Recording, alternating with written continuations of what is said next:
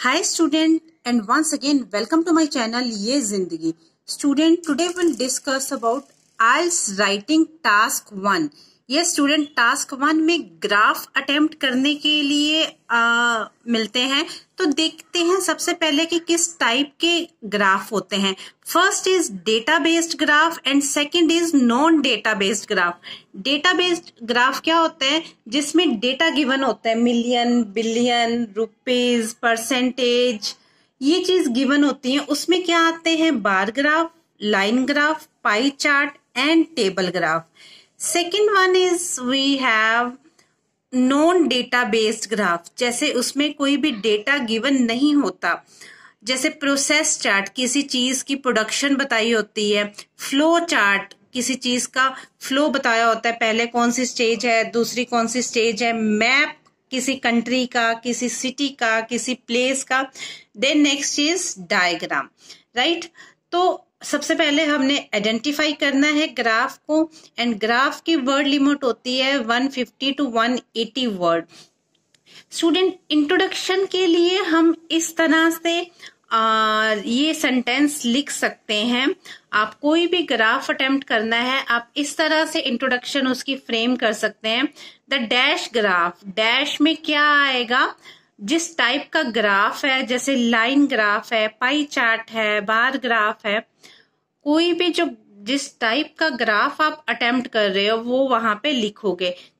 Chart या graph depicts illustrate throw lights demonstrate the information regarding जो भी जिस चीज़ की भी इंफॉर्मेशन दे रहे हैं, ये आपने इंट्रोडक्शन में लिखना है। स्टूडेंट ये जो मैं पूरा वीडियो आप लोगों के लिए प्रिपेयर किया है this is you can say seven plus band level का वीडियो आप लोगों के लिए प्रिपेयर किया है सो इसको कंप्लीट देखिएगा।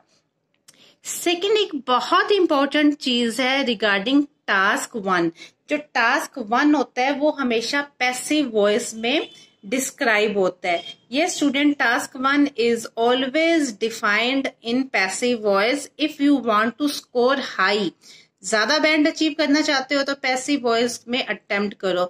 Like the information regarding dash has been depicted illustrate demonstrated in the graph और चार्ट पैसिव वॉइस का क्या फॉर्मूला होता है? सिंपल आपको वे में बता दूँ object helping verb and third form of the verb student introduction discuss करने के बाद हम देखते हैं जो आप फ़र्स्ट बॉडी पैराग्राफ लिखोगे स्टार्ट करोगे तो उसकी स्टार्टिंग में कौन से फ्रेज कौन से सेंटेंस यूज़ करोगे, जिससे एग्जामिनर पे अच्छा इंप्रेशन पड़े और आपके अच्छे बैंड आयल्स एग्ज़ाम में आए।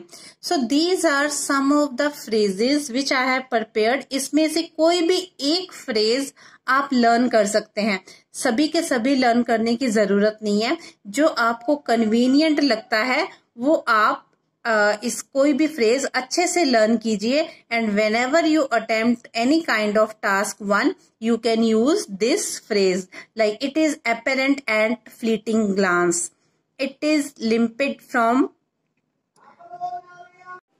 from graph the graph manifest striking और outstanding feature a matter of great surprise student, इसमें से आप कोई भी फ्रेज अच्छे से लर्न कीजिए and do write that phrase in first body paragraph. Okay, next we have connectors. Connectors कौन से हम यूज़ कर सकते हैं? डेटाबेस्ड ग्राफ में, मैप में और डायग्राम में। Moving further furthermore in addition, moreover, however to add on. Next जो फ्लो चार्ट होता है या प्रोसेस चार्ट होता है student find it very difficult to attempt process chart तो पहले आप प्रोसेस चार्ट की वोकेबलरी देख लीजिए, कुछ कनेक्टर देख लीजिए। ये हम यूज़ करेंगे प्रोसेस चार्ट में। Proceeding further next subsequently then along with this in the next step thereafter finally lastly चलिए स्टूडेंट्स अभी हम बात करते हैं ट्रेंड्स की। आ, आप सभी इस चीज़ से अवेयर होंगे कि आ, जो ग्राफ में ट्रेंड्स देखने को मिलता है increase decrease stagnant fluctuation so trend को किस वे में डिफाइन करना है अभी हम वो देखते हैं। Most common trend is increase तो इंक्रीज हम बार बार वर्ड लिखेंगे so it will not leave a good impression so कैसे डिफाइन करना है? जैसे ये हमारे पास एक बार ग्राफ का एग्ज़ाम्पल दिया है। यहाँ से यहाँ तक हो गया मीन्स थोड़ा सा इंक्रीज हुआ माइनर इंक्रीज हुआ। माइनर इंक्रीज के लिए हमने क्या वर्ड यूज़ किया? टर्टल पेस पेस का मतलब क्या होता है? स्पीड ठीक है? माइनर इंक्रीज के लिए हम क्या करेंगे? टर्टल पेस यहाँ से यहाँ तक थोड़ा सा इंक्रीज हो गया। ठीक है? अब ये जो फिगर है इस बार में टॉप पे पहुँच गई है। मीन्स हाईएस्ट फिगर है। तो हम कह सकते हैं the figure reach up to zenith zenith zenith होता है हाईएस्ट पॉइंट ठीक है? सो so, जो चीज़ बहुत तेज़ी से इंक्रीज करती है या इंक्रीज के लिए हम ये वाले वर्ड यूज़ करेंगे।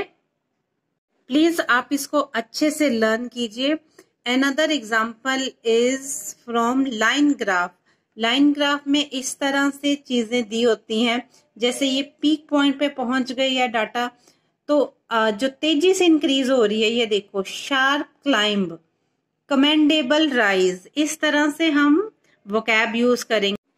स्टूडेंट पहले हमने इंक्रीज के ट्रेंड देखे थे, अभी हम देखते हैं डिक्रीज के ट्रेंड सो so, ये देखो, इस फिगर में कॉन्स्टेंटली सब कुछ डिक्रीज हो रहा है, ठीक है? कंजेक्टिवली डिक्रीजिंग ट्रेंड है. तो इस तरह से हम यूज़ करेंगे. टेपर्ड ऑफ़ सबड्यूड इंक्रीज और depreciated declined dipped dropped student जो ग्राफ अटेम्प्ट करने को मिलते हैं, वो 99 परसेंट जो ग्राफ होते हैं, वो पास्ट टेंस में दिए होते हैं। तो इसलिए सेकंड फॉर्म को अच्छे से लर्न कीजिए। अगेन लाइन ग्राफ का डिक्रीजिंग में ट्रेंड है तो ये वाले हम वर्ड यूज़ करेंगे। स्टूडेंट किसी भी ग्राफ में तीन चार मेन ट्रेंड होते हैं, जैसे इंक्रीज डिक्रीज स्टेगनेंट और फ्लक्चुएशन इंक्रीज डिक्रीज और फ्लक्चुएशन सबसे ज़्यादा कॉमन ट्रेंड ज़्यादातर दिखने को मिलता है ग्राफ में। अब देखिए, यहाँ पे फ्लक्चुएशन हो रही है।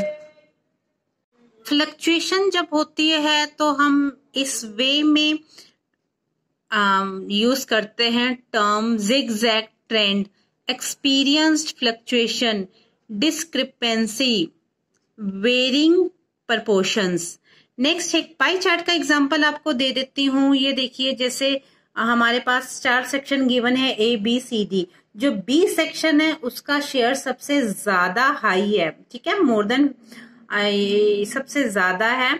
तो इसके लिए ज़्यादा पाई चार्ट में जो ज़्यादा हाईएस्ट शेयर होता है, उसके लिए लाइन शेयर कह सकते हैं, या find most favour next we have stagnant जैसे इंक्रीज डिक्रीज फ्लक्चुएशन है, ऐसे ही है स्टेगनेंट सेम जब डाटा कोई भी इंक्रीज या डिक्रीज नहीं होता, उसके लिए हम स्टेबल स्टेडी एट पर remain constant stabilize ceaseless and uncease unceasing word use करते हैं।